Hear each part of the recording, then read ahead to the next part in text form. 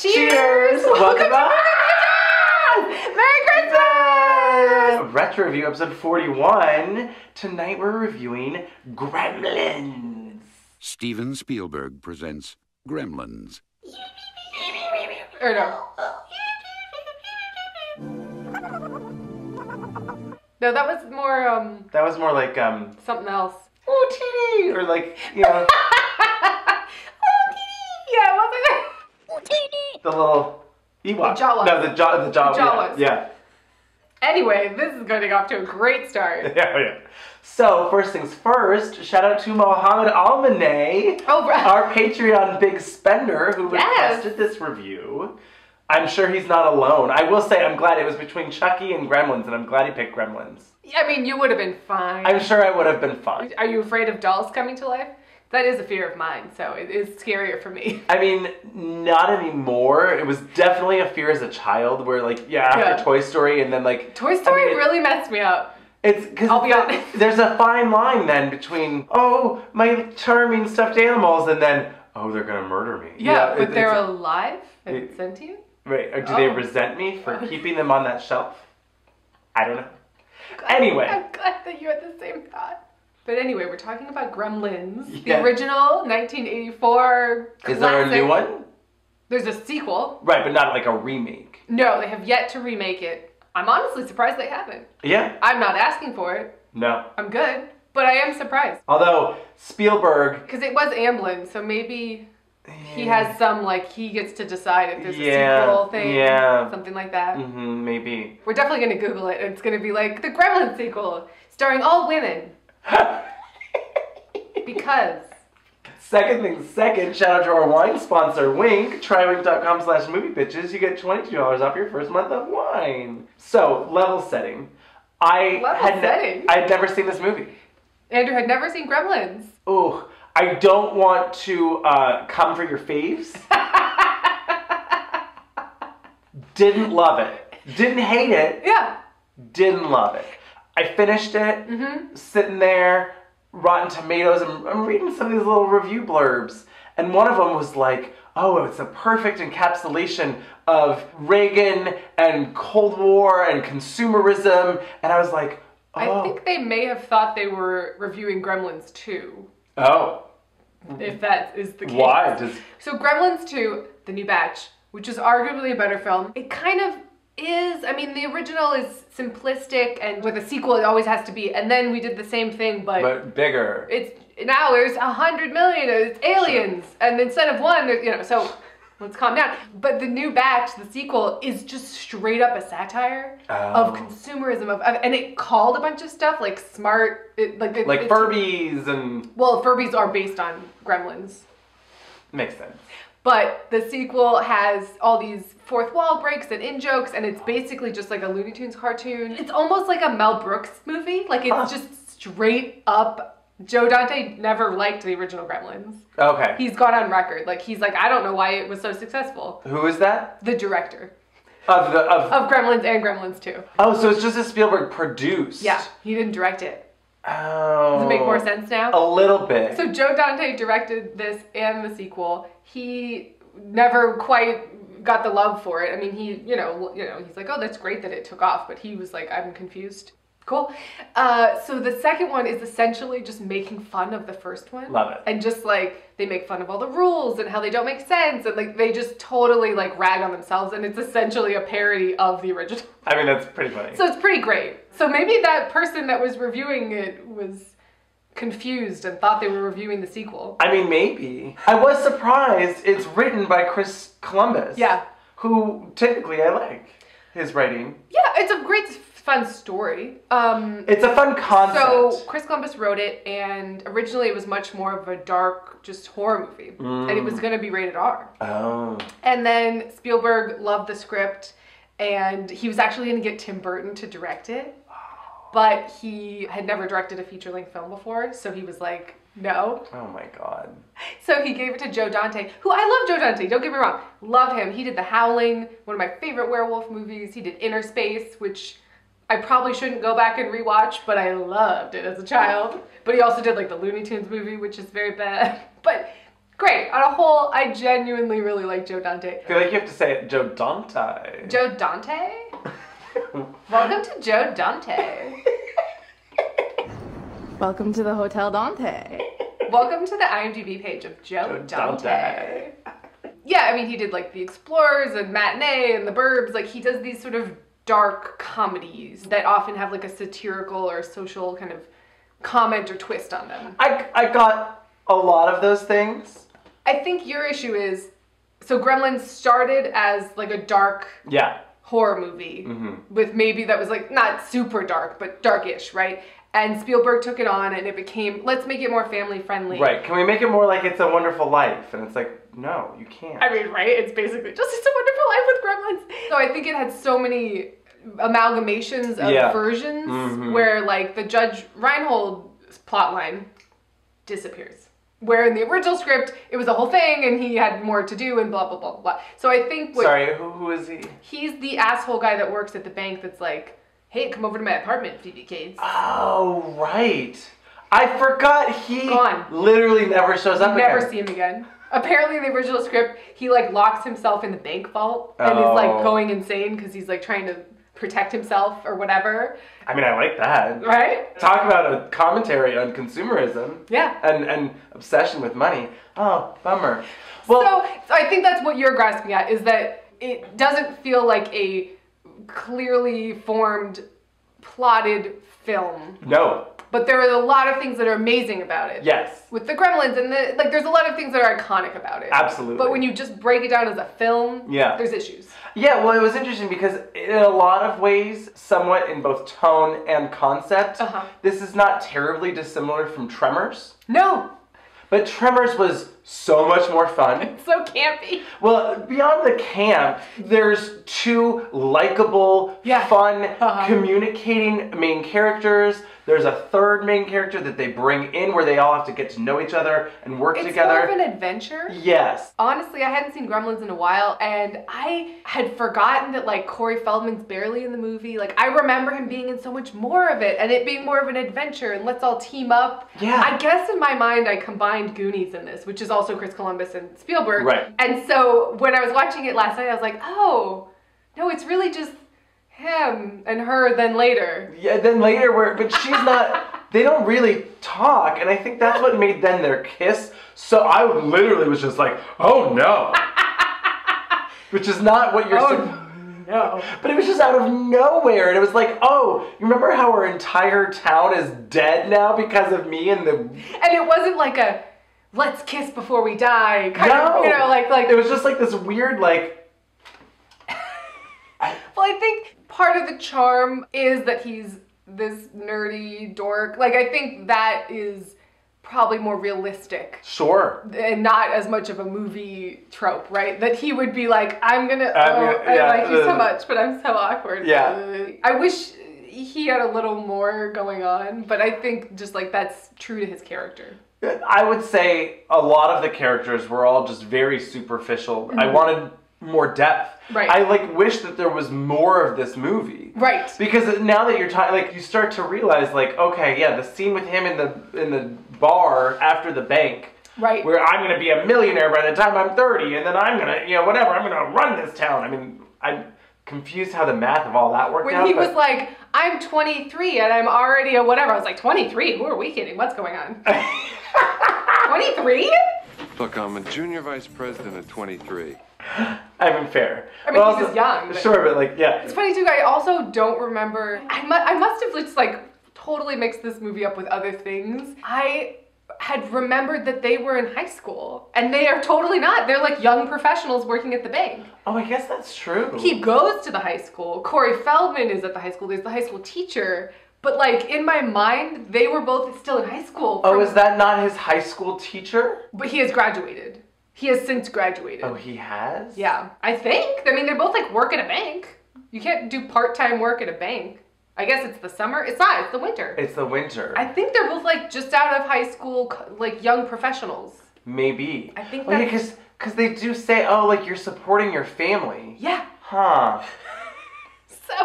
But in my mind, Definitely like, high school. High school, you know, like. But yeah. like I, I thought that too. And that's what's kind of unique about it. Like in every other kind of movie like this, they would just be in high school, high schoolers, Right, whatever. right, But right. it is sort of interesting to have these young, just out of high school, young professionals like trying to just make something of themselves, and they haven't quite, Yeah. you know, left the nest yet. But they're all like, there's something a little different about that. Sure. Now, can we roll back tape? Yeah. The narration. Oh boy. Well, it's, it's such a weird way to start a movie. Let me tell you a story. That's me there. Let me introduce myself. Peltzer's the name, Rand Peltzer. That's me there on the corner. This all felt like studio notes to me. Like, oh, we didn't get it in. We have to day. establish how he got here and whatever. And yeah. So uh, the dad, you know, going to Chinatown, nondescript 1940s Chinatown. There was like an old timey sailor, and I was like, "Is anchors away? What's going on?" Like I was a little confused. I was like, "What?" but also like all very like stylized. Very stylized. It was. I mean, it felt basically like Chinatown from Who Framed Roger Rabbit. Yes, it's very much that era of filmmaking where, like, when Steven Spielberg was young, it was all of the tropes of adventures and foreign lands and the Right. magical foreign minorities and and that sort of thing. Yes. And so, in some ways, this movie is commenting on that. You got yourself a bad case of dragon breath. Like, it's Okay. not. I feel like it's not straight up trying to be racist. No, no, and Like, I, I think it's it's making a little bit of a satirical joke on those things. they never did like offensive accent work. No, I'm sorry. Mogwai not for sale. And I was like, oh, they're really gonna lean into this, and it's not gonna be comfortable. And then it was just like, oh no, he speaks perfect English, and I'm like, okay, at least they didn't There was do a- that. I was reading some trivia about that actor, and apparently he was like 70 something at the time, and but he looked too good. Like they were like his skin was just too hydrated and beautiful, so they had to like old him up. Oh and God, I I was love like, it. love this story, love this for you. But this like long, it felt like a TV show. Yeah. Long intro. It's like, when are we gonna find the body? Dun dun. You know, it Right. was like it's, it's like five and a half minutes of not the main character. It was so funny to me how this just wouldn't happen now. No, a lot of this, particularly the intro, I guess, reminded me of Detective Pikachu. Ooh, boy, this is much better than that. Yes. Much. But you know what? I mean, like, it seemed like this was kind of the tone that they were trying for. Detective Pikachu was, and then failed. Yes. Yes. Oh yes. Oh yes. I agree with that. But, like, rather than, like, oh, we're gonna go for Chinatown, or like, oh, we're gonna go for, like, Who Framed Roger Rabbit, where they're like, Right, right, right. and the intentionality wasn't there. They were Yeah. like, we're gonna try for Gremlins. and they missed. and they, they missed the dartboard. Woo! we'll talk about the dartboard later. Oh my god. This movie feels really slapdashed. Oh, yes. Even though, so like, the technology was brand new and they were dealing with all this stuff, and I think a lot of the Gremlin stuff actually still Looks looks really great. And, Particularly Gizmo. well, yes, he's our, you know, lead. He looks great. Gizmo, so cute, by the way. So cute. But then, the, yeah, the Gremlins look fine. Yeah. Sometimes better than others, but like good. yeah. Not as like great as Gizmo. Well, in, in the sequel, they look fucking great. Mm. And there's like a bajillion more, and they all have different personalities, and like, you could definitely tell that, whatever. I think the second one came out in 1990, I want to say. Oh, okay. So Something like, like the that. six years made a difference. It really made the difference. And they got Rick Baker to do. He's like very famous For in creature design. creature special effects Yeah. world. But talking about the slapdashness, like the story seems secondary. Let's say where they were like, it's a creature family movie. Yeah. The plot doesn't really matter, which is fine. Sure. But it really cracked me up that like arguably the most important part of the movie is the rules, right? Sure. And they're told over voiceover of clearly B-roll footage of Chinatown in slow motion because they didn't get enough footage. There's three rules you've got to follow. Yeah, what kind of rules? It was such like a fuck you. Like or or that kid actor like couldn't get it all in one take. Something happened. That was not the first plan. That was not plan A. And keep them away from water. Don't get them wet. It was plan C or D because it was so bizarre. And rule number one, you can't get them wet. Right, right. Rule number two, they hate bright lights. You know, and it's all being told in slow motion and voiceover. Oh my god. Really got me. Yeah. Rule number three: don't feed them after midnight. I mean, that certainly is iconic. Yes. I wouldn't be as critical of it, I don't think, if it wasn't for the fact that they spent so much time teeing up all of these supposed plot lines I think th- that's- then yeah. get left.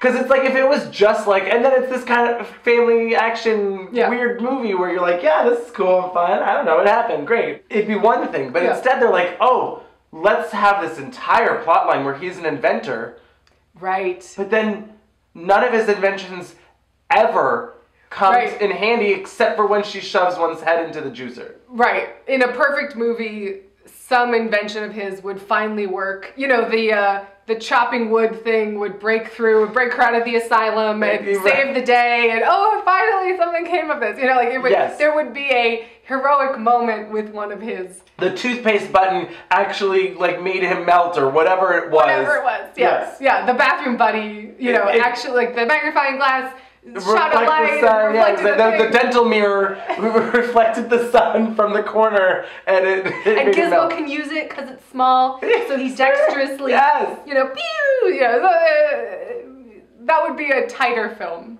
There is a lot of loose threads, let's say. I'm also just concerned. Uh huh. Is everyone dead? No. Who's everyone? The town? No. We sure? Yeah. Well, and even so, you know the couple Dick Miller and he's like a character actor. He's in a bunch of Joe Dante movies, and his wife, the, the World War II racist Yeah, guy, yeah. who's just like Russians, damn it, you Yeah. know, and just like Foreign cars. Berg, we should have bought a Zenith, you know that guy. His goddamn foreign cars, they always freeze up on you. they get run over by a snowplow, but they are in the second movie. It was a miracle. They survived something, blah, blah. So they didn't even die. I think just the teacher, Yeah. which is unfortunate because he's the only Person of person color. of color. Well, no, the, the Chinese guy at the beginning, but he's the only person of color in this town. Right. And he dies first. Yep. Yikes. And then the awful old lady. She does die. Dangle. Dangle? Dangle. Dangle. Ding- Dangle. Yeah. Mrs. Deagle, it's Christmas. She was so much. I love that she was straight up evil. Oh, yeah. She is just the Wicked Witch of the West. I want your dog. I mean, I'll get you, dog. Yes, I will. Yeah. Like it was just straight up. I'm pure evil. I'll put him in the dryer. Wow. I was like, oh my god. I'll catch the beast myself. Maybe I'll put him in my spin dryer on high heat. What's happening here? This woman is like literally threatening this Murder. It was a lot. It was a lot. But can we talk about the town? Well, Yeah. so the movie finally starts. Okay, yeah. After this long Right, this intro. introduction. This is me. That's me on the corner there. Yeah, see? Almost like a Waylon Jennings, like like Dukes of Hazzard. You probably noticed there's something different here. Well, this is Hazzard County. Because that guy, oh, I forget his name. It's like Hoyt something. He's like a country music, like he wrote a bunch of songs. Oh. He's like a musician, country star. And Who is this? His dad, the, the Oh, actor gotcha. playing his father. The guy that kind of looks like John Goodman. I thought he kind of looked like like a Joe Don Baker vibe. You don't know who that is, um, but that's who I thought. Okay. But, um, but Wait, who plays Norm? he's Jason Sudeikis' uncle. Oh, really? Yes, and his name is George Wendt. Oh, yeah, George Wendt. okay. yeah. He was kind of giving me a George Wendt vibe. Right. It feels like I'm going to tell you my home, homespun story about the tale, Sure. tall tales Yes, of whatever, yes. which would work more if he was the main character or if it was, If it was like him as a kid, if this was like a flashback, maybe, yeah. Or something. Because he disappears. That's it. yeah, There's a- he disappears for the There's a lot entirety of the movie and um, then shows up and is like, what lot- the hell's going on here? There's a lot of convenient things. Like, I have to go out of town, so your mother will be alone. But I'll take the your dog, dog. so we don't have to worry about that because that's a nightmare to try and deal with the dog and the gremlins. It was stressing me out when they tried to murder the dog. Why is everyone trying to murder this poor dog? Poor dog, get out of here. Leave Barney alone. One more minute, you would have been a dog skull. So funny. So I think also this movie is not for you. It's very dark, humored, and yet it's sort of in this wrapping paper of a kids movie. Right. right? So that I don't think was ever necessarily going to work for you. Maybe. on a high level. Sure, maybe of not. enjoyment. Maybe not. Yeah. But the town, it starts. We finally get the credits. We hear my oh my one of my favorite Christmas songs, "Darlene Love."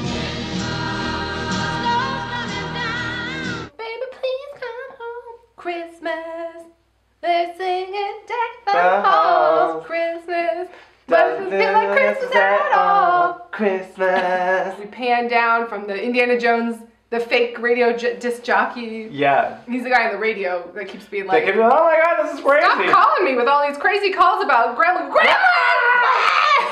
I like that. I could have used maybe make him the Maybe the narrator. narrator. I like that. I mean, he wouldn't know enough, but sure. But not even a narrator, I guess, but just like more of a Yeah, through- how to come a through through line, you know, something Yeah. like that would have been Yeah. fun. But anyway, we pan down and it's the same. It's from the Universal backlot. It's the same town as Back to the Future. Makes sense. It's fun. There were so many things in this that I was like, oh, they'd never get away with that. Mm. Like, oh, Spielberg would never let them do like an Indiana Jones joke now. Right. Oh, Disney would never let them use Snow White and the Seven Dwarfs now. I was shocked. that kind of stuff where you're like, ooh, the, the heyday of the cocaine riddled 80s when everyone was just like, yeah, let's do it. You know, yes. The answer is yes.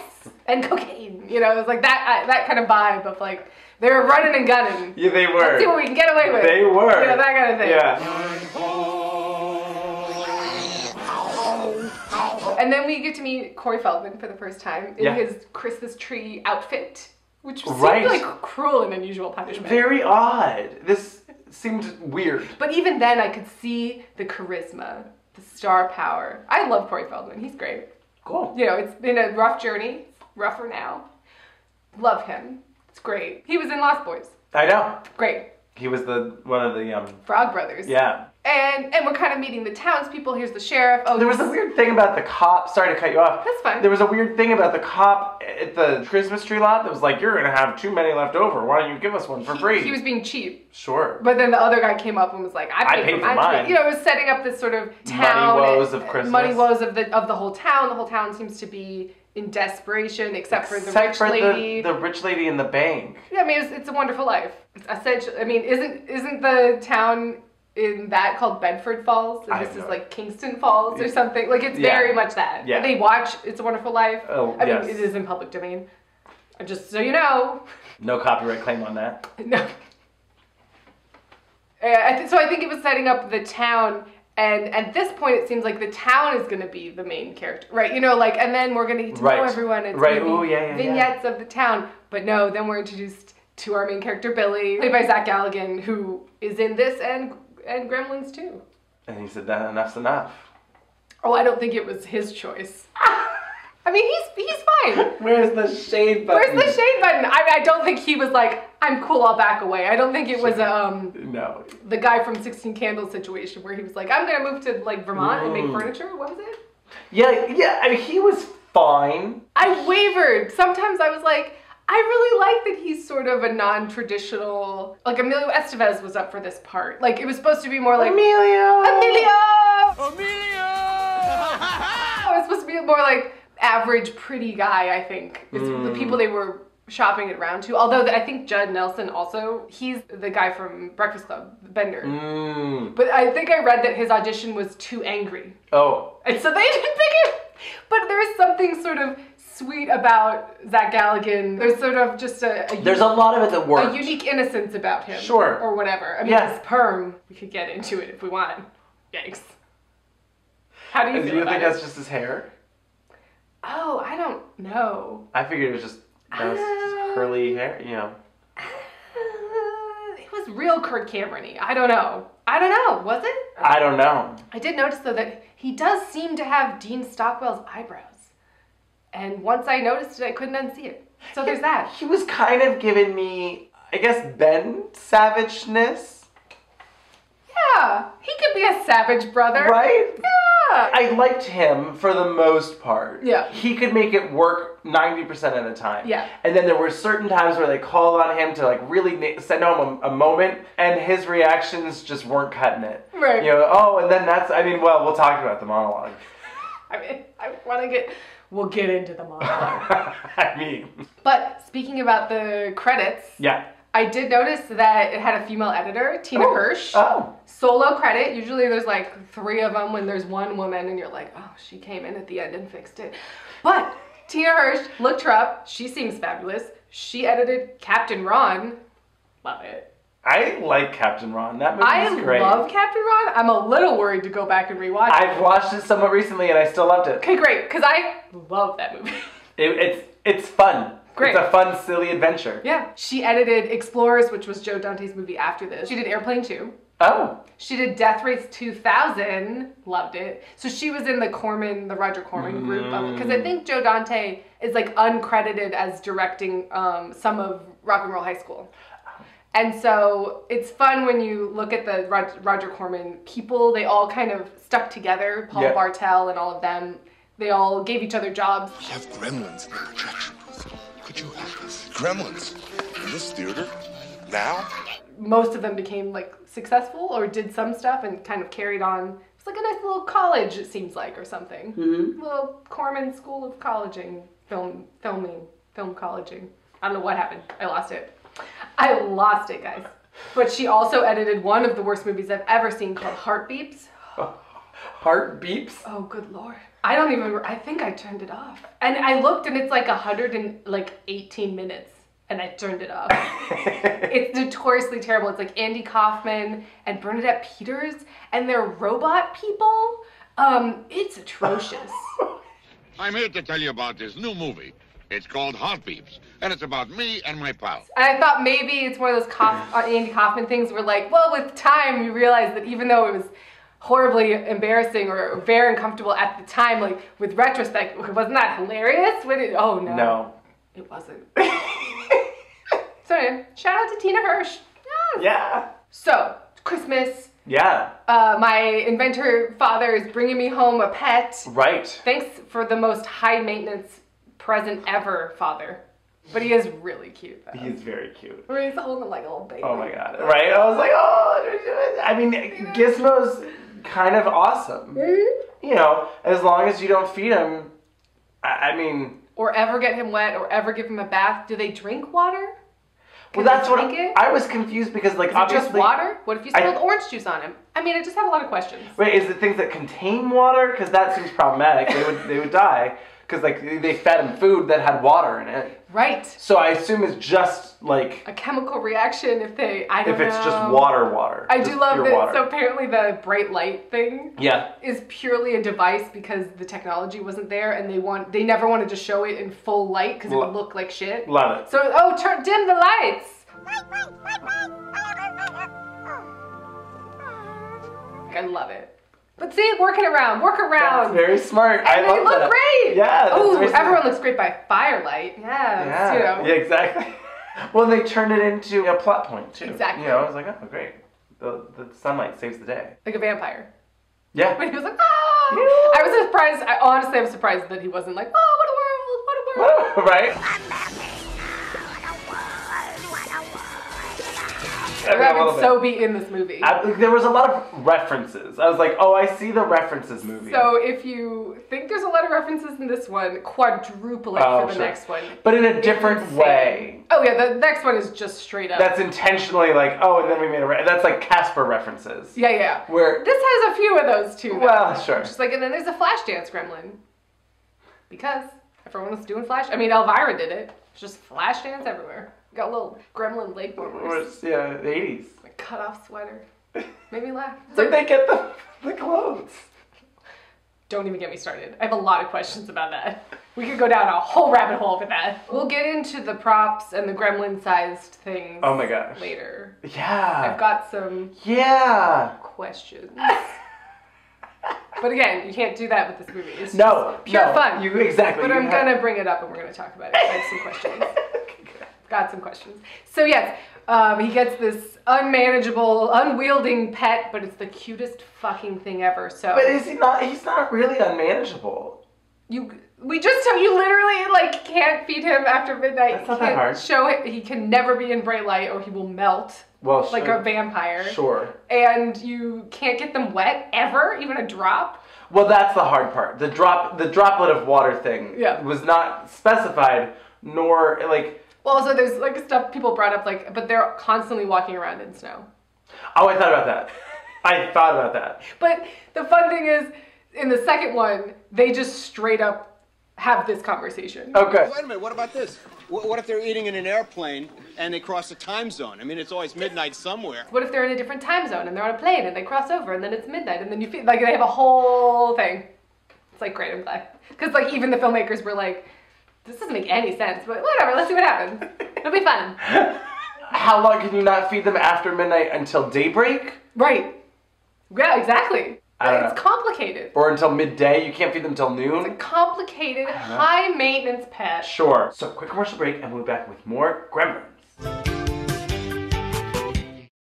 Of course, then the gremlins they get wet, all of the rules get broken, wreaks havoc. They the little balls. I mean, I thought oh, this looked great. Yeah. The little puff balls, and then they slowly like open up like a rose. Yeah. Like in stop. In, Yeah. You know, stop Yeah. animation or whatever. And oh, there's more of them. And then I guess it's the combination really of they've gotten wet, or rather, Gizmo has gotten wet, Right. birthed them. Yes, they're. Then they eat after midnight. That turns them into the gestation period. Yes. Then they become awful gremlins. It was it was two the combination of two mistakes. Yes. Can we talk about his mom? Yeah. I love this is my favorite scene, I think. The kitchen? She was just like, he's like, Mom, get out of the house. Yeah. You got it. And she was like, Bitch, No. I'm not taking any shit from these gremlins. It Exactly. just murders all of them. Like, yes. Except one. Except for the one. The Christmas tree. The Christmas tree one. Came out of nowhere. Loved it. Yeah. I just was excited that it didn't become, oh, save me, oh my god. I mean, Absolutely. he saves her eventually. Well, like, sure. she took care of fucking business. Yeah.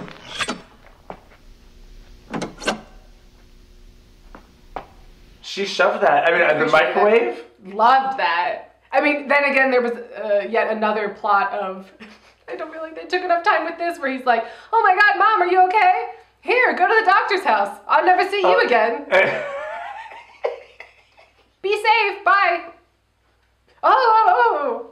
gone from the movie. yeah. I, uh, yeah.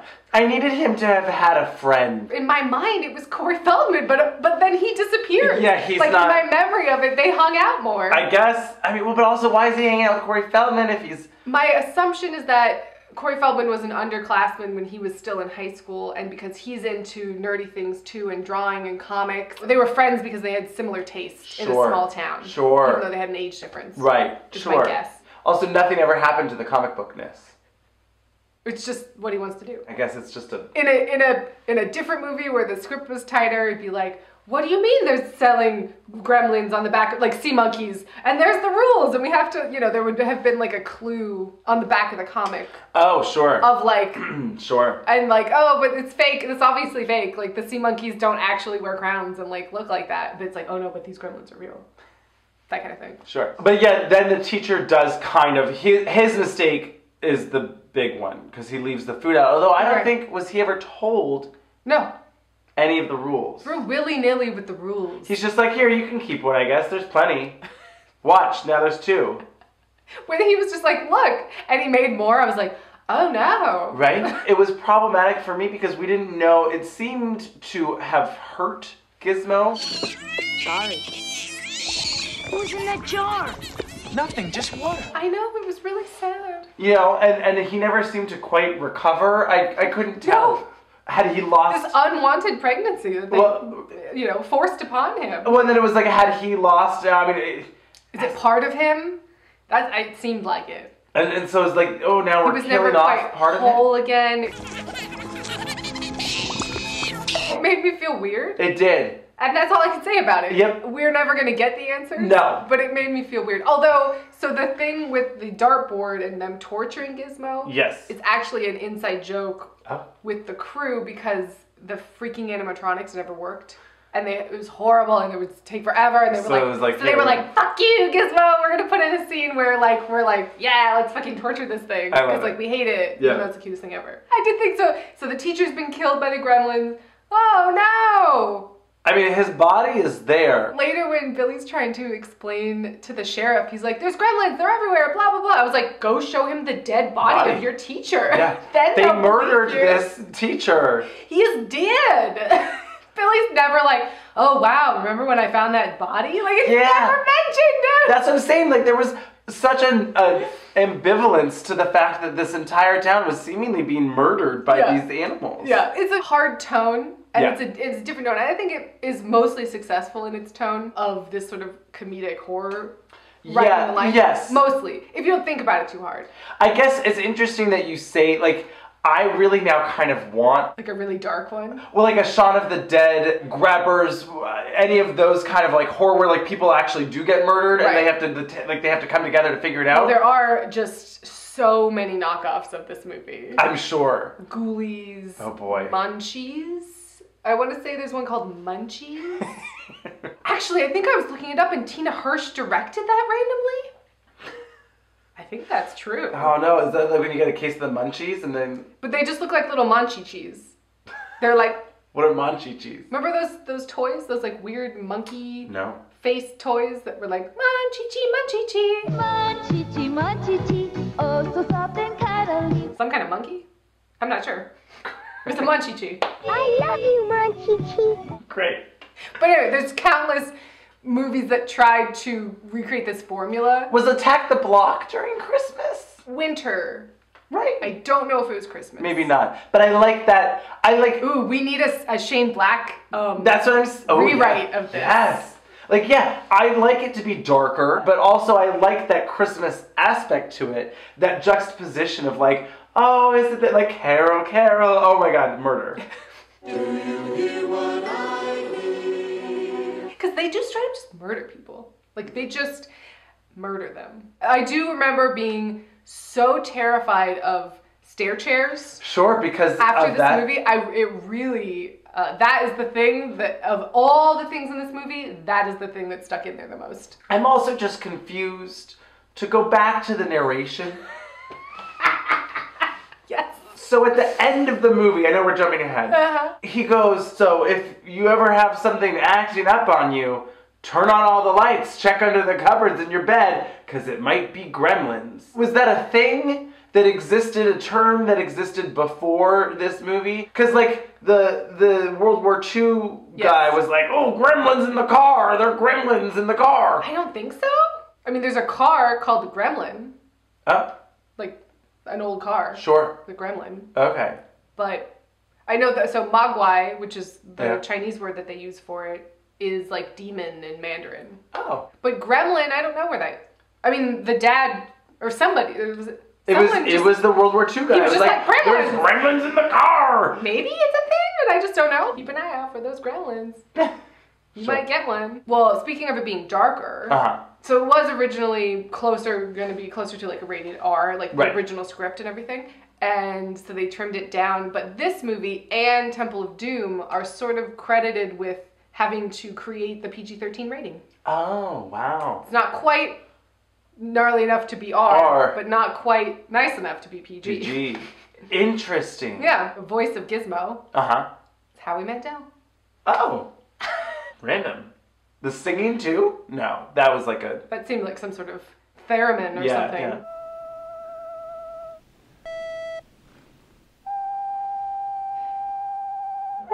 Maybe it was his voice that they affected. Maybe. I don't know. But yeah, Interesting. Howie Mandel. Cool. Bobby's World. Remember Bobby's World? Nope. The Howie Mandel cartoon? We was like, Bobby's World. Nope. You don't remember that at all? No clue. really? No. So okay, so back to the gremlins. Mm. Because I just still am a little confused as to like sometimes they're murderous and crazy, and sometimes they're just drunk men. Well, One literally ex- okay, so they're in the bar. one of them's just a flasher. He exposes himself to her. I mean, What's happening? It was such a dated joke. I mean, obviously, but I, it was that was such a thing. Like flashers, they had the trench coat. And Yeah, the that's true. It was very It was very like I'm a flasher. Yeah. Like it's Yeah. so bizarre to me. We got to get into this bar scene because I got some questions. Okay, great. Shoot. So I mean, don't shoot because that's what they do with their. that was terrifying, Yeah. by the way. Yeah. He's like a like a mugger. He's Yeah. got like the Yes. ski mask. Yes. And he's like, like, also ah. this gremlin-sized gun. I have questions. I've got questions. There's no answer. But we're going through. There's little vignettes of all the gremlins. We get Uh-huh. the flash dance Uh-huh. gremlin. We get the poker playing gremlin Right. with his like sexy wife. Okay, cause okay, okay, because It was like in drag, or was it? well, so there is a female gremlin in the sequel. Okay. That's like a female gremlin.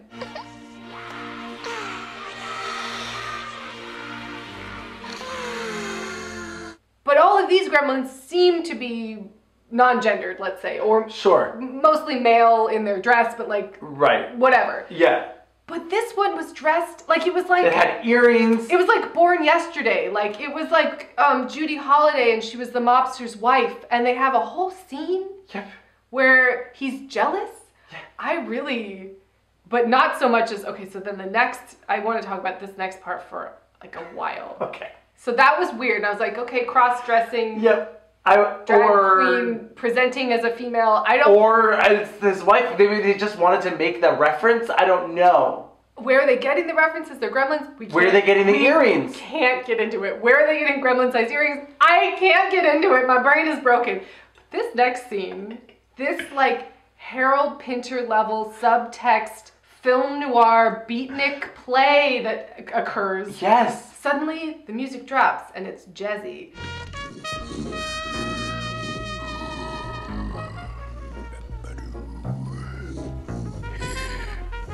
and it's zooming in and it's you know of all the gin joints and all the you know world and he's some detective Yeah. and then this other gremlin shows up with a chicken puppet And a lo- devil? a lobster oh, I was puppet a lobster.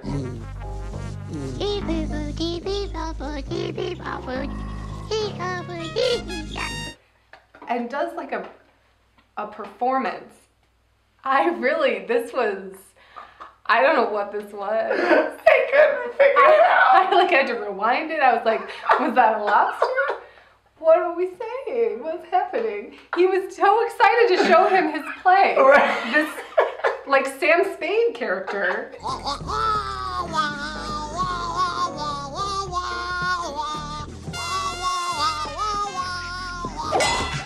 It wasn't like blind Lauren Bacall. She walked into my office. blah, blah, blah. It was something else. It kind of reminded me of a goofy movie. or like a Punch and Judy reference, but it wasn't. No. It was no. I just this broke me. Yeah.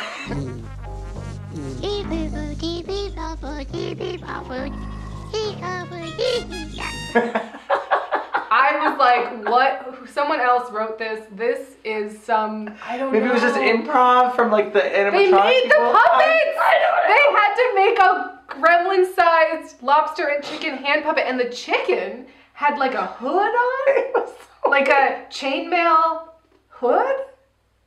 I don't know. I could talk about this. Like we could just be done because I don't know what this was. I don't know. Oh boy. So anyway, So then they all end up at the movie theater where it's dark. not yet. Oh no, not yet. First, we have to talk about the monologue. Oh boy. So this is the most famous part of the movie. Oh. The studio wanted it out. Spielberg was like, I don't like it either, but it's Joe Dante's movie. Joe Dante fought for it. I mean, I think it's one of the reasons it works because it became so famous. Sure. And it's so shoehorned in. It's very bizarre. So weird. Now I have another reason to hate Christmas. They could have gone such a different route, right? Oh, my dad committed suicide four Christmases ago. No, or- it's so much it's so much better that it's the most fucked up thing ever. Ever. It's like But one also, of the most fucked up things in a movie. The worst thing that ever happened to me was on Christmas. They run into the bank. He's like busy doing something. Yeah. He's like, I gotta find a flashlight or something. Yeah, something. and yeah. she's just like, gosh, another reason for me to hate Christmas. Here's the monologue. Me and Mom were, were decorating the tree, waiting for Dad to come home from work. A couple hours went by. Dad wasn't home. And he's not even really listening. He's like doing other things, and she's like, well, Christmas Day came and went, and still nothing. didn't know where he was. Then I tried to light a fire in the fireplace. And that's when I noticed the smell. If you really break it down, it's actually it's so fucked up. It's so extra sad. The dad dresses up like Santa Claus. Firemen came and broke through the chimney top. They pulled out my father. To surprise them, to do a nice thing, slips in the chimney, breaks his neck, dies instantly. At least he's got that. Sure. But then he's been rotting in their house as they've been trying to find right. him for days. Yeah. I mean, it's just so fucked. But and then uh, was probably singed a bit when they started the fire too. He was dressed in a Santa Claus suit. He'd been climbing down the chimney on Christmas Eve, his arms loaded with presents. So it's kind of a debate as to whether it's just a full joke or if it's both. I mean, I just don't understand. What do you mean? Because, like, again, uh, people, at least in my understanding, don't actually fit in chimneys. That's not a real thing. They're not person sized. Maybe theirs was.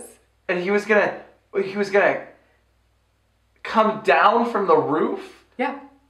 He just wouldn't he fall then if it was large enough? Then he would Did just he have fall. a Gatling What was- you you know, what was the plan? What was his plan? This seems crazy to me. Darwin I mean, Awards then. I don't was- know. Oh yes. Whenever people talk about this movie, it's like, oh, it's that cute, you know, kind of scary horror movie. But then that Phoebe Cates monologue where she talks about how her father died dressed as Santa in the chimney, and they didn't know. And then the Tolstoy line of, and that's how I found out Santa wasn't real. And that's how I found out there was no Santa Claus. Right? That's what makes that it a joke. yeah. Like that's the right. the joke. That's that's what ruined Christmas was that not that her father had, had died and was rotting in their chimney, but that she found out that Santa wasn't real that Christmas. Oh, it's so good. Oh my God. Oh, it's so insane. Yeah. Then they don't find Judge, Judge Reinhold in the in the vault, Oh no, bummer. Yeah. and they just go yeah to the movie theater. To the movie theater where Snow White, I was shocked. So I guess the thought was, I think they came out. Snow White was released the same day The Gremlins was supposed to be released. There was some tie-in with the date, Gotcha. and that's why they wanted to. It was like the 40th anniversary or whatever. something. I, I forget exactly, but it was something like that. Cool. I mean, I love that they were like, let's see if we can get Snow White. Oh, they gave it to us. I think Walt Disney was dead at this point.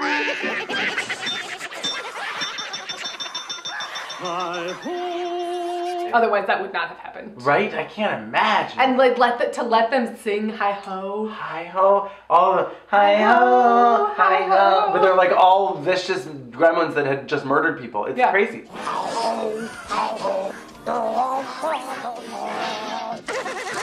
But it also seemed like maybe they took on a lot of whoever was leading. So if the movie was leading and they're, they're just watching the dwarves like they're happy. They're like But then if Stripe is like aggressively murderous and leading, then they're Then they do- aggressively murderous. Yeah, maybe. There wasn't enough backstory of like who are the gremlins Well, because. I think originally, oh, because originally Gizmo was just gonna turn evil. Oh, Uh, like he was Chucky gonna- situation. Yeah, it was oh he's so cute, and then he turns and he's Stripe essentially. Mm. And then I think Spielberg was like, no, he needs to stay cute. We need like a good guy on that side to be rooting for. Sure. So they invented the, the evil Stripe character. But then um, Billy was supposed to save the day, not Gizmo.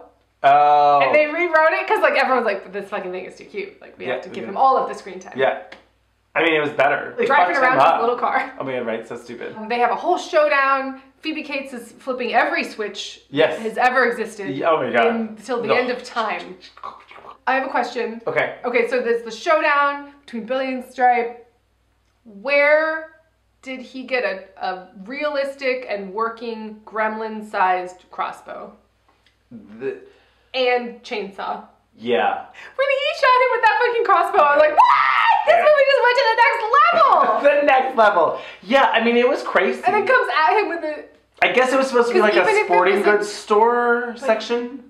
regardless. They were small. They were tiny. There's no reason there would be a child-sized working chainsaw. So here's a question. Uh-huh. So then Stripe makes it to the fountain. Mm. He's standing in the fountain. Yeah. He's it's like you can literally see that he's already wet. I'm just like, but how They they had to make it work when they could make it work with the animatronics. maybe when you're a gremlin, you have to be submerged. Wait, now you're just making stuff up. I am. So they. But like, because we only see him replicate when he's submerged. Sure.